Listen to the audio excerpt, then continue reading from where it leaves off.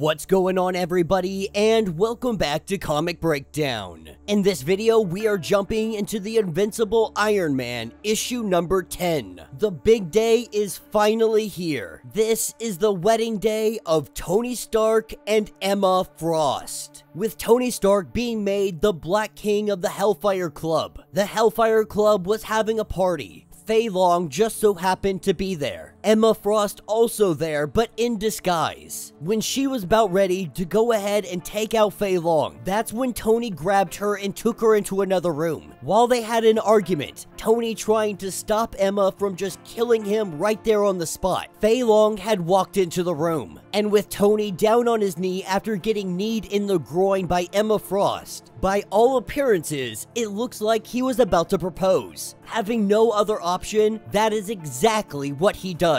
And so now they must go through with the wedding to keep up appearances. So make sure you guys have subscribed to the channel, make sure that you like this video, and with that being said, let's dive into this breakdown. Alright gang, so as we dive into this issue, we are picking up in prison. We pick up with War Machine. As he makes his way into the yard this evening, one of the guards, they get ready to hand him a phone letting him know that he's got a call, but Rhodes is unwilling to grab hold of it, at least at first. Concerned that if he touches contraband, that'll have his fingerprints on it and it'll only make things worse for him. But the guard, he hands it to him anyway, saying that you got friends in high places. When he answers, it says hold for Tony Stark.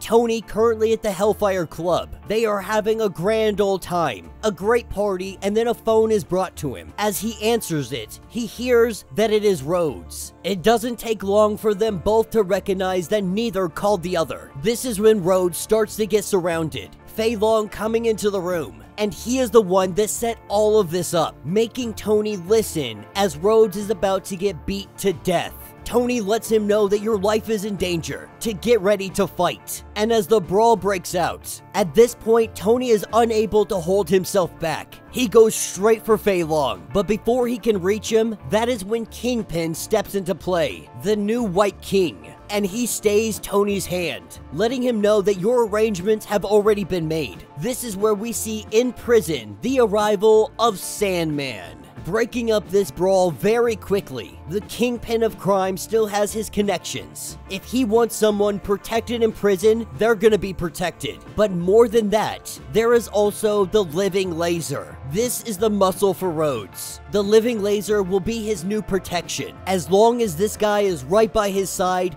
nothing is going to happen to him. Getting back on the phone, he tells Tony to listen to me. He has been reading the papers. He's up to date on everything that is currently ongoing, and he is telling Tony to win. To win this battle and win I'm out of here, have a suit ready with some coordinates. This is a war and they are going to win it. With Wilson Fisk asking Tony, do we really need Feilong still alive? Because as it stands, we could take him out right here, right now. But Tony needs what's inside of his head. And Wilson, he's gonna have to get in line because there is a long list of people that want him dead. This is where we have the arrival of our one and only Emma Frost. As she goes in to take out Feilong herself. Tony grabs hold of her, takes her into the back room. He tries to stop her, but this is when he gets kneed in the groin. Emma taking off her inhibitor ring. He is begging and pleading for her to stop, that she may be able to kill him. But those machines are still out there. He has no idea what has been baked into the Sentinels. He does know from Sync that his countermeasures to Magneto are in there. He needs to know what else. He needs a solution, and this requires engineering. He also needs to learn what his father found outside of this reality. Emma promised to do things right. That is all Tony is asking her to do. He just needs a little more time. This is that moment we saw in the last issue where Feilong walks in, Tony having the inhibitor ring in hand. Feilong assumes that he is proposing, and so they go along with it. Putting the ring onto her finger, saying that he thinks he better he better kiss her before it's too late and Feilong catches on. Emma says to enjoy it, because this will be the first and last time that you may touch me. As the two of them kiss, we pick up a little bit later with Tony and Feilong. Tony is really doing his best to play the part. He even goes to thank Feilong that he had been stuck in that armor so long pretending to be a hero, when the truth is, he just wants to have a good time. He wants to retire. He had traded one addiction for another, but now he's out here pretending that he's back on the wagon, pretending that he is back to drinking alcohol. When the discussion gets on the soon-to-be wedding, Feilong does ask if he is invited, and Tony says no. He had almost said yes, but then he realized that Feilong wouldn't come. He knew that he had to say no for Feilong to show up. This is when Feilong goes on to say that you'll never get any real peace until we know what happened to Frost. She escaped in your Iron Man armor, and Tony says that I thought it was obvious at this point. She went up to Mars. Before he took a blowtorch to Mark 70, the black box said that it was on their moon, and then it went to Mars. Some kind of teleportation from the moon to Mars. That if Tony was Feilong, he would be more worried about the mutants starting up a reboot of Mars attacks. This is setting the groundwork for Feilong and Orchis's demise. But with Tony and Emma heading off, the two of them, they head off to Vegas. They go to Vegas in the hopes that Feilong will show up to their wedding, the home of shotgun weddings, the shame weddings, and every wedding in between. They did exactly what was expected of them. Dinner, dancing, all the romancing. And then that night, that's when the clothes came off. And that is when the armor went on with Tony putting on his stealth armor. He picked Vegas not only because of its destination weddings, but because there is something here that he needs. The lab of Zeke Stane. He has come here to rob him blind. Luckily for them, he really wants drones as his protection, which means there were no humans here. Tony is able to smash and grab. What he came for was a machine that builds other machines. With a truck backing up, the truck being driven by Deadpool. Captain America ensuring that they could be trusted. The machine is taken away from this facility. And then Iron Man heading back to the hotel, getting a shower, getting changed, he heads off to the chapel. When he walks inside, he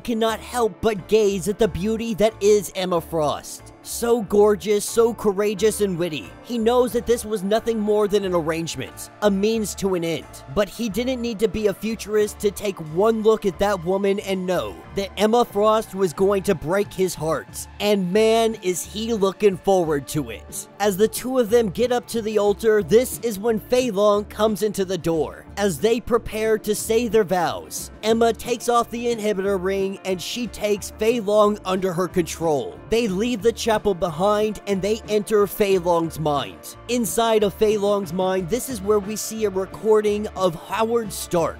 Tony gets everything that he needs from Feilong's photographic memory. Emma downloads everything that she needs on the Sentinels. And this is where Tony goes ahead and he observes what his father is saying his father getting ready to take off. He has found a metal that is not on the periodic table, one that shouldn't exist, and it shouldn't exist because it is outside of their universe. If he is successful in finding this metal, it would change the world. But while they're in Feilong's head, this is when Feilong recognizes that they are in his head. He goes to fight back. He does what he can, but Emma Frost, she is too powerful. She quickly puts him back to sleep. He will never remember this encounter. If he ever gets the smallest inclination that Hazel and Emma are the same person, he will get a splitting headache and he will never think about it again. But before they go, she wants a deep dive into his mind. She wants to see who Feilong is. As they're diving into it, Emma says that your father's theoretical discovery. It sounds a lot like Mysterium, but Tony says to hold that thought. Feilong has been obsessed with Howard Stark.